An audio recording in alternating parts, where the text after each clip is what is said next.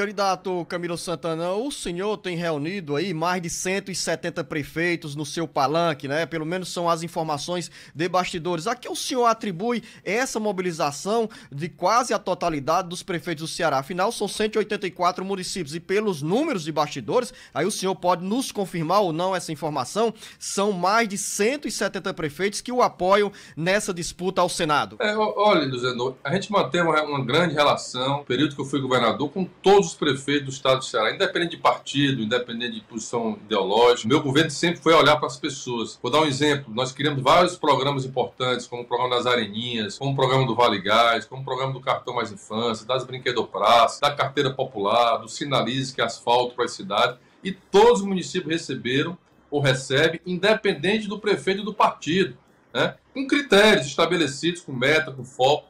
Para essa relação, eu fui a todos os municípios, como governador, eu fui a todos os municípios do estado do Ceará, eu recebi todos os prefeitos do meu gabinete, ouvi as suas prioridades, as suas demandas. Então, nós construímos uma relação, uma relação de parceria, uma relação de diálogo, e isso, sou muito grato a essa grande maioria dos prefeitos, mesmo prefeitos que não apoiam o Elmano, que eu gostaria que estivessem apoiando o meu candidato também a governador, mas apoia a nossa candidatura como senador da República. Eu fico muito grato e agradeço muito a todos os prefeitos e prefeitas cearenses.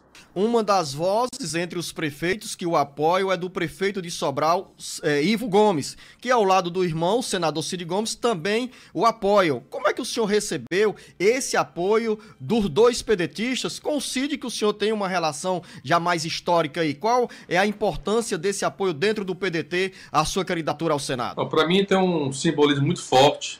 Primeiro pela relação que eu tenho com o senador Cid, ex-governador, uma relação de amizade, de respeito, de parcerias importantes. É, e o Cid é, não está apoiando nenhum candidato a governador do partido dele, que é o Roberto Cláudio, nem está apoiando o candidato ao Senado da coligação dele. Ao contrário, me apoiando. E eu fico muito feliz, muito grato ao ex-governador, com teu respeito, muito respeito e carinho. Tanto isso, isso me estimula mais ainda a continuar a nossa luta, nosso trabalho.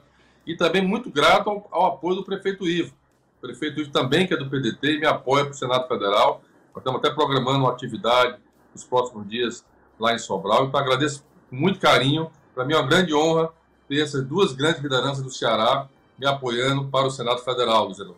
Mas nesse caso de Sobral também poderá vir apoio aí para o candidato Elmano Freitas, candidato Camilo Santana? Olha, eu torço muito, torço muito para que o Ivo apoiasse o Elmano como governador, para, para governador do estado do Ceará. Né? Mas, mas, mas, repito, eu respeito sempre a posição, respeito a posição do Cid, respeito a posição do Ivo, mas sempre estou na torcida.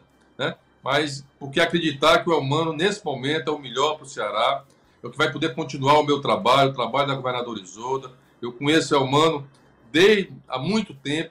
Ele esteve ao meu lado há sete anos e três meses que eu fui governador. Ele esteve ao meu lado, foi o líder do meu partido na Assembleia. É um homem de diálogo, é um homem de uma simplicidade, filho de um agricultor, filho de uma professora de escola pública do Estado, conhece todas as políticas do meu governo, esteve ao meu lado, portanto eu não tenho dúvida, é a pessoa que a minha, da minha confiança, que eu confio, que eu acredito que é o mais preparado para continuar o trabalho aqui perante o governo do Estado do Ceará. E mais uma coisa, Luziano, é como eu falei no início, eu não tive a sorte de ter tido um presidente parceiro para me ajudar enquanto governador.